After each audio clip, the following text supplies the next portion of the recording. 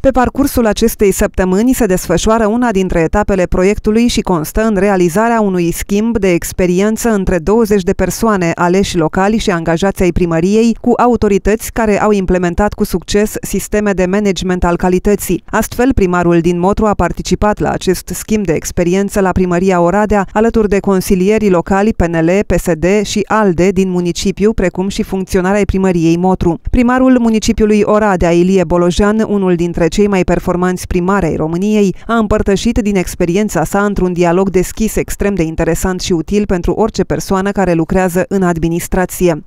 În momentul elaborării proiectului Performanță și calitate în administrația publică locală din municipiul Motru, finanțat din Fondul Social European prin programul operațional Capacitate Administrativă, am ales ca acest schimb să se realizeze cu primăria Oradea. Am ales municipiul Oradea, condus de primarul liberal Ilie Bolojan, dat fiind faptul că în urma unei analize realizate de Asociația Urbanize Hub între anii 2007 și 2016, Oradea a fost desemnat drept cel mai eficient oraș din țară, datorită fondurilor fondurilor europene atrase, a investițiilor realizate și a transformărilor radicale suferite în ultimii ani, a declarat primarul orașului Motru, Gigel Gianu.